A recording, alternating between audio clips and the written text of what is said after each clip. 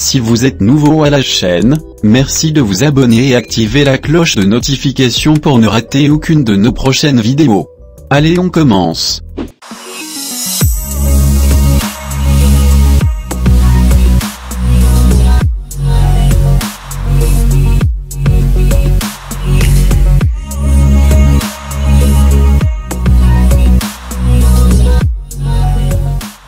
Connectrice est une note explosive qui ébranle le sommet de l'État guinéen, tourmenté par les récentes révélations accablantes de la Banque mondiale qui a décelé une surestimation du coût du plan économique de riposte contre le Covid-19, à plus de 40 millions de dollars. Dans la foulée de cette tourmente, les révélations s'enchaînent en cascade au sommet de l'État. La presse et les réseaux sociaux en font leur chou gras. De quoi s'agit-il? C'est une crise qui mine le sommet de l'État guinéen. Elle met au centre le Premier ministre Kassori Fofana et la ministre du Plan Mama Kani Diallo décrite par certains comme une dame dont il n'est pas facile à faire courber les chines.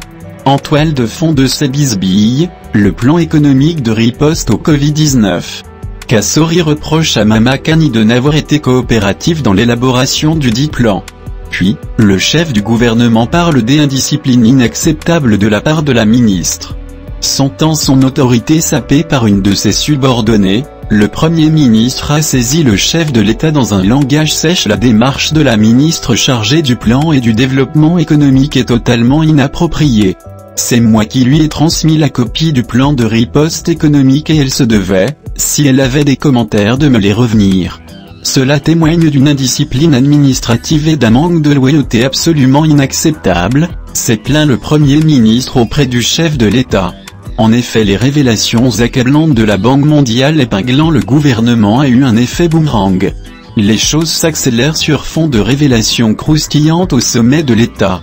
D'abord, cette note manuscrite des services techniques du département de l'énergie dirigée par Sheikh Talibi Silla, qui est au centre du scandale des 40 millions de dollars jugés surestimés par la Banque mondiale ensuite cette lettre du chef du gouvernement qui vient de fuiter, dans laquelle le patron du petit palais de la Colombe se plaint auprès du chef de l'État.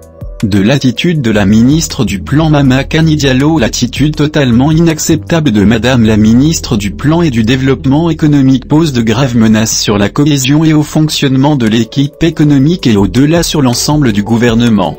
C'est la raison pour laquelle je vous prie d'envisager, à votre plus prompte convenance, une rencontre pour tirer toutes les conséquences de cette situation, fustige le Premier ministre Kassori Fofana qui s'est adressé au président Alpha Condé.